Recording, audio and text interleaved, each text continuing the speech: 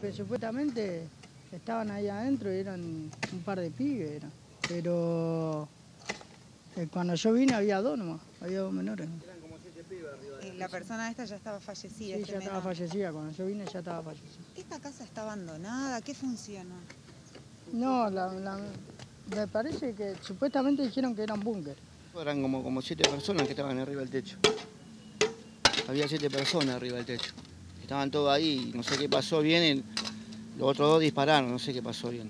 Pero eran como las cinco y cuarto de la mañana, más o menos. ¿Esa casa está abandonada? Sí, está abandonada. Supuestamente dice que era un búnker, ¿viste? Pero acá en la zona siempre es lo mismo. Siempre pasa algo, en esta zona, en la otra zona es lo mismo. Estaban, eran todos menores los que estaban en Sí, la todos casa. menores. Sí, el pibe creo que tiene como 15 años. Acá como todo, por ahí te pueden decir los vecinos también, siempre. Acá, la cuadra esta o en la otra cuadra, siempre hay quilombo, muere uno cada, cada 10 minutos, 10, siempre, 20 mueren uno.